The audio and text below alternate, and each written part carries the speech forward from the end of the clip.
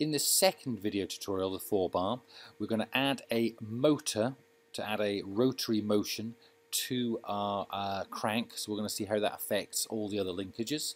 And we're also going to use a trace path to actually so we can actually see exactly what's happening what kind of motions are going in what kind of things are coming out. Okay? So first thing we need to do is make sure that you have the add-on. So I'm going to go to uh, up the toolbar go across to tools down to add-ins and from there I'm going to select make sure that I've got switched on SolidWorks motion there and there okay? So make sure that those are both switched on and say okay. May take a, a little second when you do that.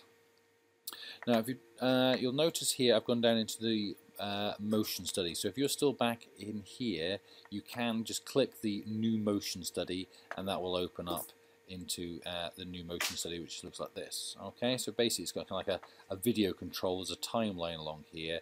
There's various bits and bobs that we can add. Uh, we can add springs you can add gravity you can add uh, all sorts of things to see how things add and work together. Okay so we're going to add a motor and we're going to add it into this section here. So I'm going to zoom right in and I'm just going to spin that around. Okay so the motor I need is this one here. So I just click on that part there. And then I'm going to select just the edge of the crank.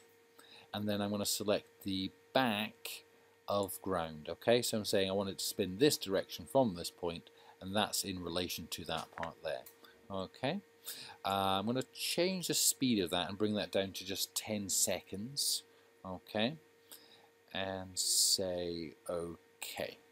Right now, if I spin that around and take a look at the front of it again, okay, so now let's just see if that's worked. So I need to check first of all here um, from this drop down box that you've actually got the motion analysis uh, selected.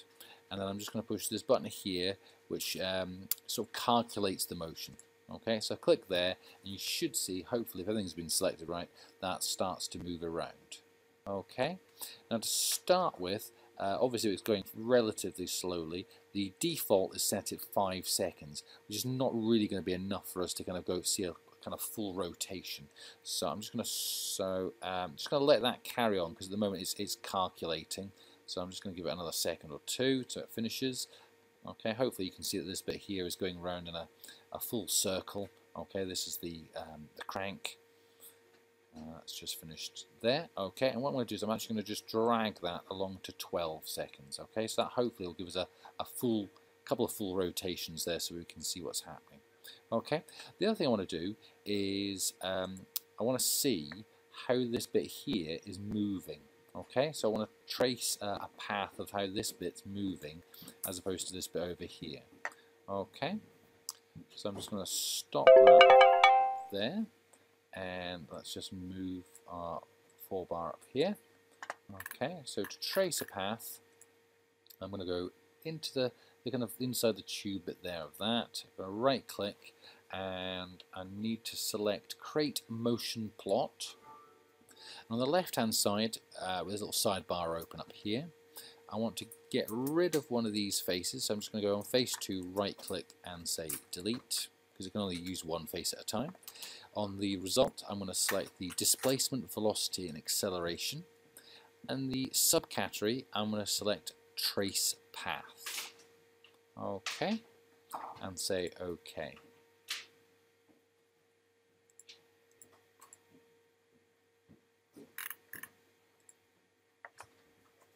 Right, let's have a quick double check. That seems to have uh, not liked that.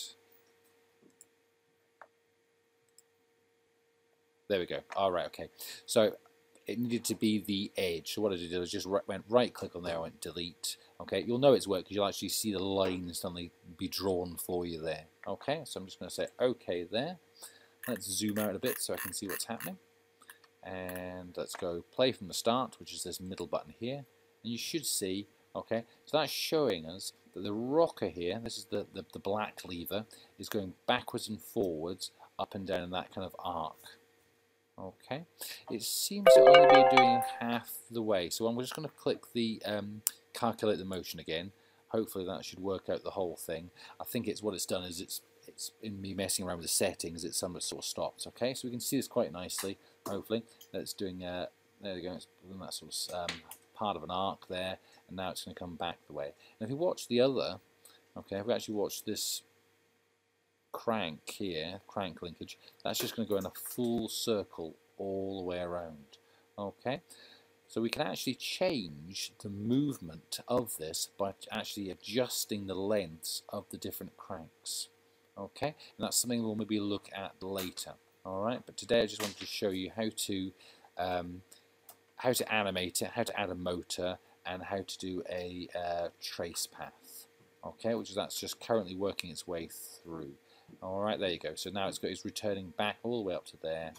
Okay, we should be able to see that going through a, a full cycle. I'm just going to wait till that's finished and then we'll have a, a, a, play at normal speed and we should be able to see it. Obviously it's going a little bit slower at the moment because it's trying to work out all the, the physics, the, um, the kind of friction, all sorts of things that you can do in SolidWorks. You can actually work out the, the, the, the sort of tensions and the forces and all the different parts as well. Which if you were making a part such as a for example, a, a four bar may be used on a, um, a windscreen wiper. Now, obviously, that's going to be used for I don't know, 10 years or something, and that might be used uh, going backwards and forwards for years and years. They need to work out which which bits are the weak points, can they improve the material, all these sorts of things. Okay, that's nearly finished, and then we'll have a look at it at normal speed, and then we can actually see that moving quite nicely.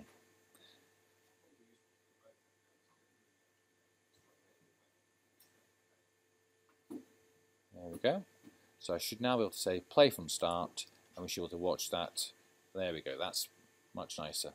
Okay, so you can see that moving quite smoothly and that the, the this is moving backwards and forwards as this thing. So we're turning, basically we're turning rotational force into a kind of almost like a semicircle. I hope that's been useful for you.